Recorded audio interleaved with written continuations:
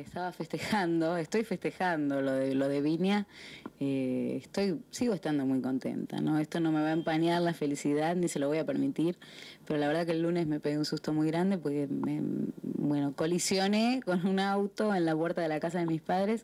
este, y el chiste me, me costó un poco caro porque tengo una herida muy grande, tengo muchos puntos en una pierna,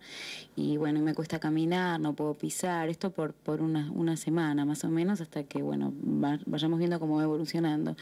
Pero la verdad que me asusté bastante, nunca me había pasado tener ningún accidente y mucho menos en un momento como este en el cual estábamos brindando todos los días.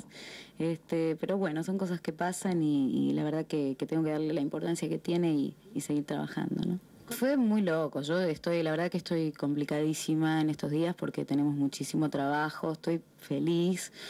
pero estamos haciendo notas todo el día y bueno, televisión y prensa y medios gráficos y, y súper bien, súper contenta porque me recibieron bárbaro. Y bueno, se ve que el lunes estaba un poco distraída porque estaba muy cansada y me bajé del remis que me traía. Y bueno, evidentemente no miré bien y, me llevé por delante un, coche y, y, la verdad que en el momento fue un dolor impresionante, me caí y ni, te puedo decir que me vinieron a tomar declaración de, de, la policía y la verdad que no podía decir nada, pues no sabía ni quién había sido, ni qué auto, ni nada. Lo que sé es que, bueno, tenía una herida muy importante, me asusté mucho cuando la vi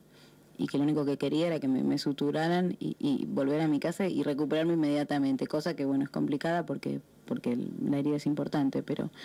pero ya estamos planificando un show acá, así que para el, creo que el 12 de, el 12 de marzo en la casona y, y lo voy a hacer, aunque sea con pantalones, pero te puedo asegurar que voy a seguir trabajando.